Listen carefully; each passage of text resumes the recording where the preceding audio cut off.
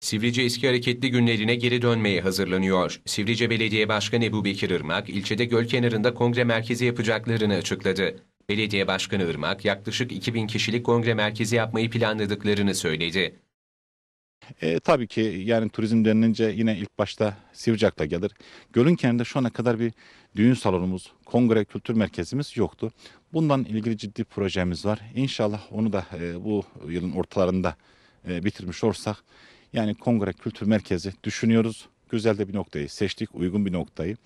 Yani kapalı mekanda işte 1000-1500 gibi e, açık mekandan birlikte 2000'i bulacak şekilde yanlarında sosyal donatıları ve eğlence merkezleri olan bir yer düşünüyoruz. Bölgede bu kadar büyük kongre merkezi olmadığını ifade eden Başkan Ebu Bekir Irmak, görev süreci sonuna kadar kongre merkezini tamamlayacaklarını belirtti. Yani e, gerçekten e, bölgemizde yani Doğu, Güneydoğu'da Diyarbakır'da olduğunu biliyorum.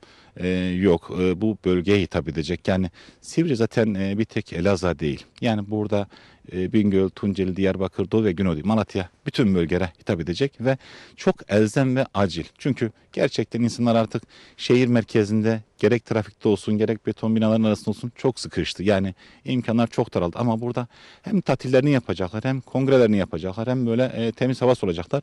Olması gereken yer de burası ilçemiz. E, farklı bir projeyle inşallah onu da kavuşturmaya çalışıyoruz. O da e, bayanlar ve çocuklar için kapalı böyle e, kız kulesi tarzında göle yakışır ekolojik dengeyi bozmayacak bir şekilde görünümü güzel olan bir yüz havuz düşünüyoruz tekrardan. Başkan Irmak, ilçede yapılması düşünülen ve geçtiğimiz süreç içerisinde tartışmalara neden olan cezaevi ile ilgili de konuştu. İlçede yapılacak cezaevinin Sivrice'ye getirilerinin fazla olacağını belirten Başkan Irmak, ilçede kesinlikle cezaevinin yapılması gerektiğini vurguladı.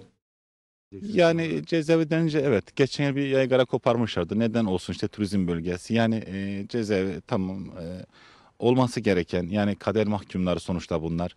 E, hep böyle kötü algılamamak lazım. Çünkü burada gerçekten onuru, namusu, şeref, izzet için olan insanlar da var. Yani sonuçta bir suça katılmış. O bizim sorunumuz değil ama yani sonuçta buradaki sirkülasyon çok önemli. Yani ilçeye kattığı, ile kattığı ve ilin reklamının yapıldığı bir e, yer konumunda. Yani ben ona kesinlikle karşıyım. Olması gerekir. Gerçekten ben burada siyasilerimize, e, merkezi hükümet- hükümetimize teşekkür ediyorum. İyi ki de geldi. Hoş geldi. Biz de sonuna kadar yanında olacağız. Destekçisi olacağız. E, olsun. Kesinleşti mi başkanım resmi prosedür ne süreç? Yani şu süreç şu an devam ediyor. E, süreç şu an devam ediyor. E, inşallah olur diye düşünüyoruz. Ki öyle görünüyor e, olacak diye. Olsun bir bütünlüktür. Çünkü yanı başımızda Elazığ'da cezaevi var mı? Var. Daha önceden ilçede cezaevi var mıydı? Vardı. Çünkü bunların nevaları, çalışanlar hep bu bölgeden olacak. Bu bölgenin ismi konuşulacak. Olsun. Onun ilçeye bir e, zarar yok. Artısı var. Çok da fayda verecek. E, ve ilçe eski günlerine tekrardan dönebilecek. Çünkü gelen savcısıyla, e, çalışanlarıyla, ekipmanıyla e, ilçede bir heyecan yaratacak diye düşünüyorum.